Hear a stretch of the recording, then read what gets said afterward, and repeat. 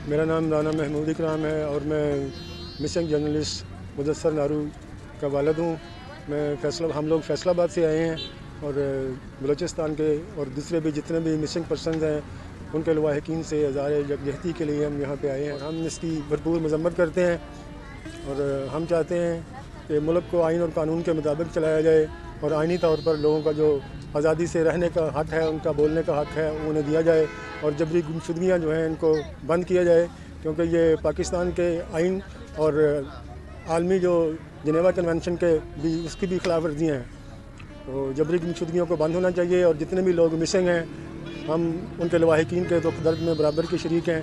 हम ये समझते हैं कि बलोच जो मिसिंग हैं, वो बलोची ही नहीं हैं। वो पूरे पाकिस्तान के बच्चे हैं।